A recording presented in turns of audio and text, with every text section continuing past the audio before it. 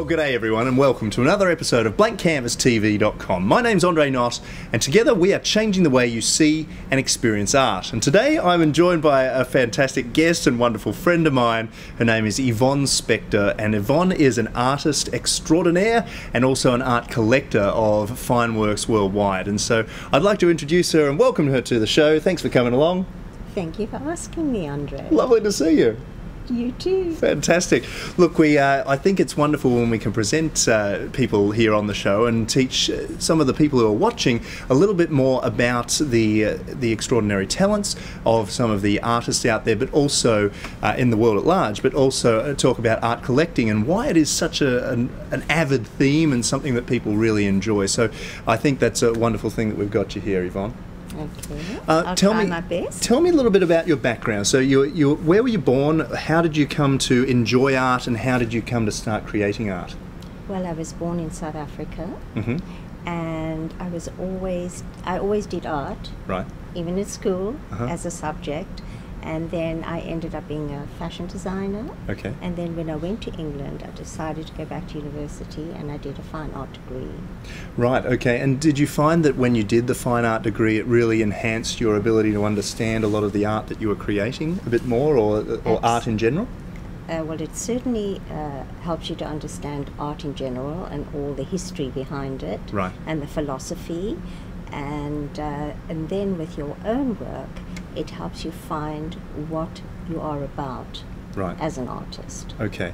Primarily. Okay. And and I was speaking to Yvonne the other night. We were having dinner, a beautiful dinner at a delightful restaurant. My gosh, I think I what did I have? I had the uh, Steak. the steak. Oh, so with did a I. fan- Just divine. Oh, divine with an amazing, uh, amazing. Uh, what was it? It was lobster ragu on the top. Oh, gee, Oh, just it looked wonderful. And sublime. did you have the chocolate pudding afterwards? Because I did. You, yes, we It did. We both decadent. we both had the chocolate pudding.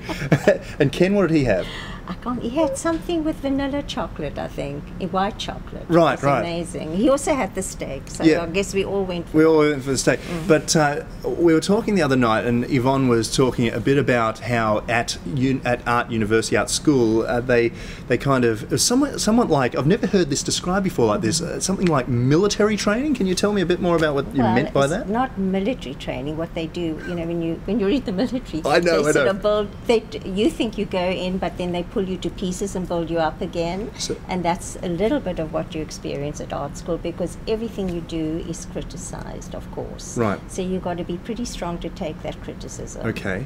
And so what you meant is that you go in there with an idea that you know it exactly what's going on. Correct, They and break you right down. Yeah, and you know nothing. And then you realise you know nothing, and then they build you up with, Correct. with art training again. Correct. They take the ego right away from you. take the that's absolutely right because Right. there's nothing more sobering than all doing a live class together and you're all putting your work up Mm-hmm. and then suddenly you think wow i'm not as good as i thought i was because that person is so much better than me Well, I think but you soon find your feet right. Well, I think that's a and you trait in art, in yes in life in general, isn't it? That you uh, that there are always people better than you, no matter what field it's in. You know, you just the race is not against other people, but maybe against yourself and uh, throughout life.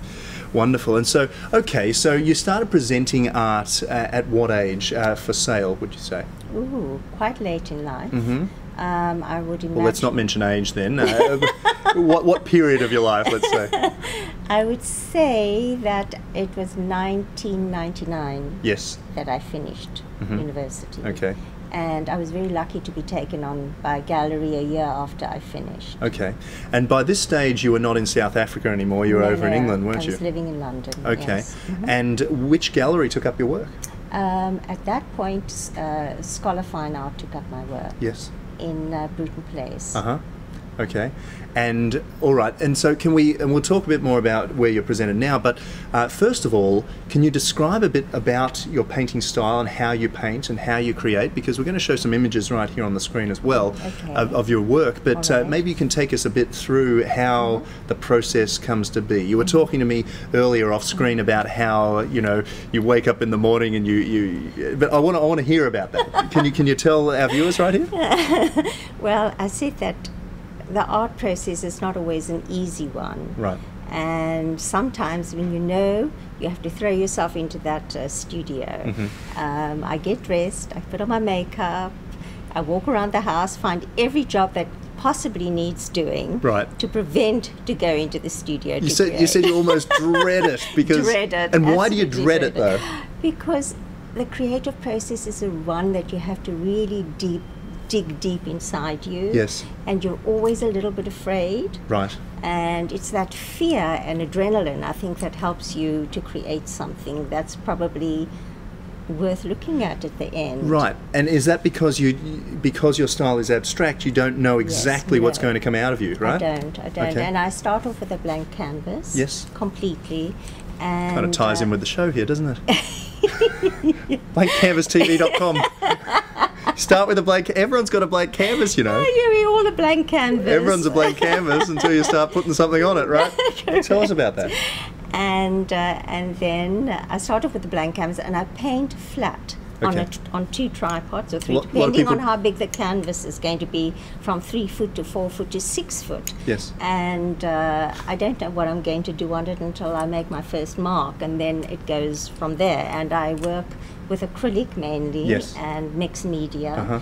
And I throw everything onto that canvas to make the marks Sure. that please me, and then I work with the marks. And those marks turn into, I've been told, when you stand far away, you can see exactly what it is. But when you come close up to the canvas, they're just marks. Right. And so do you start with any specific colour? Not really. I will. I will decide in my head what color I want to work with that particular day. Yes. And but it can change as I'm painting because with the marks take me where I want to go, it's like rather a- than me taking the mark.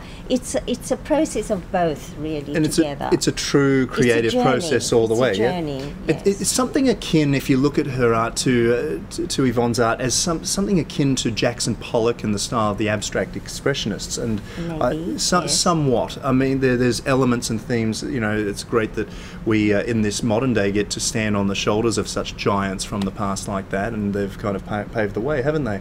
But you said that earlier, like you you're, pla- you're painting flat on a on a f- like this, and a lot of people don't really understand that process and No, what that's all I about. I don't know why I do that, but that's just how I work. And Mm-hmm. then when you lift it up, it's completely 3D. Right. And I don't know how I managed to do that myself, but I do. Okay. And when you look into my paintings, they you're looking from a vast distance, almost sometimes as if you're flying above a landscape and looking down on it. Right. And that's quite often what my landscapes will look like. Right, and you actually you actually call them landscapes then. Well, they are because they are African Mhm. and they come from my roots, but they don't necessarily need to be African to the people who look at them. Right. But they do, people say, get the feeling of Africa when they look at my work. Somewhat of a, a slightly tinged or burnt countryside, something akin to Australia and uh, Yes, like that sort of thing as well. And also the vastness of it. Vastness, I give wide a open plains. Plains and the space of the vastness of it. Yeah. Wonderful. We've been showing a few of those right here, and of course, people can check your out, art out online, right? Yes, they can. I wanted to ta- say uh, maybe which which